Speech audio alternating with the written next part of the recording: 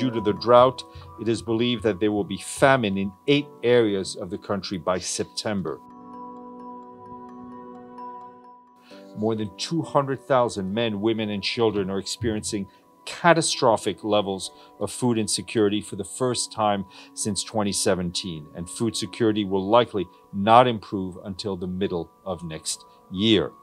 Uh, our humanitarian colleagues warn that more than 7 million people are already impacted by the severe drought, up from nearly 6 million in May. More than 800,000 have left their homes in search of food, water, and pasture. At least 200 children have died of malnutrition and disease since January.